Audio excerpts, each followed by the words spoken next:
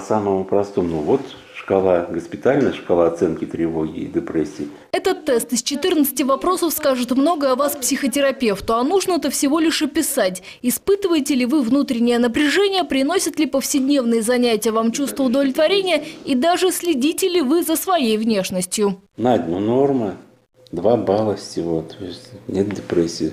Как нет и беспокойства, зато есть чувство бодрости и различные способы получения удовольствия. При депрессии симптомы были бы совершенно противоположные. Это сниженный фон настроения, это адинамия, то есть вялость в поступках, движениях, медлительность, да? И это ментальное нарушение, то есть замедленность речи, мыслительных функций. На фоне депрессии и черные мысли появляются. А зачем я живу?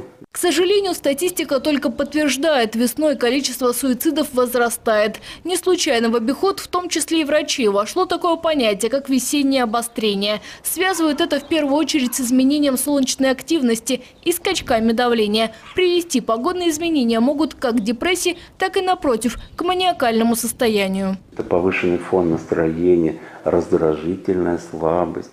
То есть они легко вспыльчивы, тут же хохочут, тут же гневаются. Такие люди редко обращаются к специалистам, ведь оценивают свое состояние как превосходное. Не доходят до кабинета психотерапевта и те, кто забывают простую истину – все болезни от нервов. Выйти из состояния весеннего нервного обострения помогут не только медикаменты. Диета помогает, ягодная диета, фрукты были, говядина. Чередование труда и отдыха тоже помогает. Занятия спортом, отдых – без сомнений, такой активный. В мягких креслах разговор по душам. И так тоже можно помочь человеку. Марина, психотерапевт с 15-летним стажем, уверена, кризисы, состояние нестабильности и недовлетворенности переживают практически все. И этот момент заметен окружающим. Может повышаться тревожность, могут увеличиваться страхи.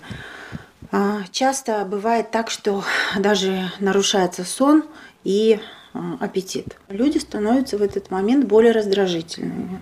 Они а, чаще всего так начинают отгораживаться от общения. Это замкнутый круг. С человеком нужно говорить, но он этого не желает. Помогают специалисты, но важна и поддержка близких. Больше выходить, например, общаться с людьми, вспомнить, какие есть приятные увлечения. Всегда лучше, если есть человек, который, на которого можно опереться, который может поддержать за руку. Наиболее психически устойчивы и легче переживают жизненные кризисы люди, которые получили в детстве достаточно любви.